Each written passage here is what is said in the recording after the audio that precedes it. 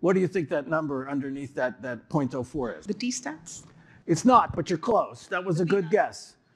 That's also close. That's a good guess. What do you think it is? 0.04, that's a p value?